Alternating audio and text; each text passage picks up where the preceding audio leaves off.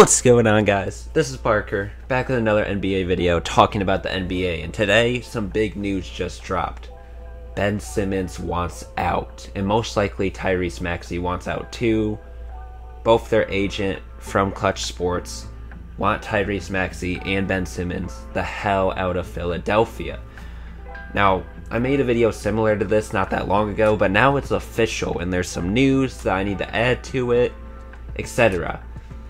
Another thing is, Joel Embiid tweeted on Twitter that he hopes the news isn't real and wants Ben Simmons to be there next year. Which I'm very surprised that he would tweet that, but also, like, Day, I don't know how sold he is on that answer. I don't know how much him and Ben Simmons have a friendship. But at the end of the day, you know, Joel Embiid's contract's coming near an end. In my opinion, I feel like he would want a better running mate, like a guy like Damian Lillard or a guy who can get him over the edge.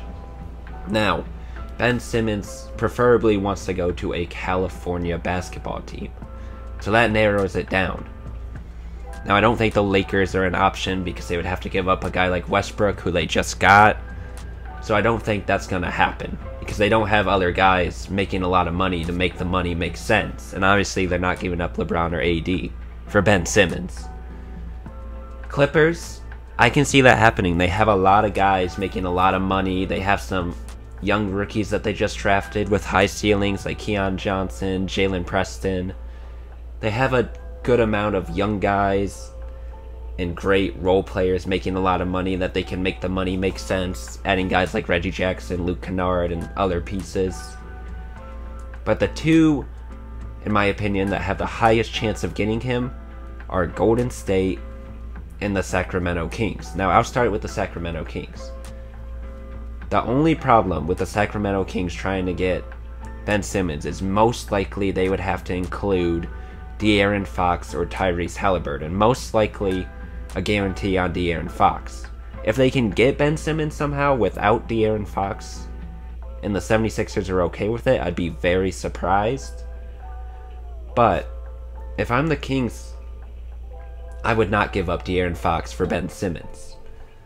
I know they had one of the worst defenses of all time last year, so I understand, oh, Ben Simmons was second in Defensive Player of the Year voting, amazing defender, can play make, obviously can run the point guard if they give up De'Aaron Fox. But De'Aaron Fox looked like a near all-star last year. I wouldn't give him up for a guy who's got a lot of question marks on him on offense, and obviously had one of the worst free throw shooting performances of all time in the playoffs last year. And they should have beat the Hawks, but they didn't. Based solely on Ben Simmons' Ben Simmons' performance each game. So, in my opinion, I would not give up De'Aaron Fox. If the Kings can somehow include other pieces to make the 76ers agree without including De'Aaron Fox, then I would accept it. But also, I don't know how good of a fit De'Aaron Fox and Ben Simmons would be. Defensively, it would be amazing. But I don't know how well that would be, especially spacing wise, because they both like going to the rim. Now, the team I think has the best chance of getting him. I literally talked about it in last video. The Golden State Warriors. Obviously, if they can somehow package Draymond Green, a lot of the young guys they've recently got in the draft, maybe Andrew Wiggins instead, but they have to get rid of Draymond Green if they're going to get Ben Simmons because they do not fit together. They both cannot shoot very well, and they're both similar play styles.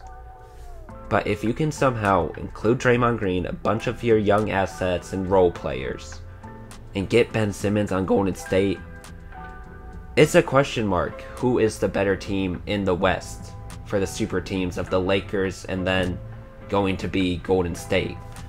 Because if they get Ben Simmons, Ben Simmons is literally just a better Draymond Green.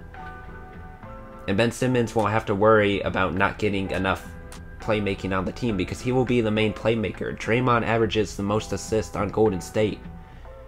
Add Ben Simmons into that, he'll play better defense, anchor the defense, and also make most of the plays for Steph Curry and Klay Thompson. I think it'd be a match made in heaven. It's just how much are they going to have to give up to get Ben Simmons to make the 76ers agree? Because obviously they're not giving up Steph, they're not giving up Klay. Andrew Wiggins is questionable. They need to give up Draymond in the trade. And then also, do they have to give up a guy like James Wiseman, who has a really high ceiling? But also, they already have two centers in Drummond and Embiid, so hopefully they can just package their top rookies and maybe some of their veteran role players like Otto Porter, maybe Jordan Poole. But then day, I think Golden State has the highest package. They have the best package to be able to get Ben Simmons. And I think he's also the best fit if they can include Draymond in the trade. Let me know what you guys think. Where will Ben Simmons end up? Like the video if you enjoyed, subscribe if you're new. I make NBA videos all the time, and I'm not stopping anytime soon. Peace.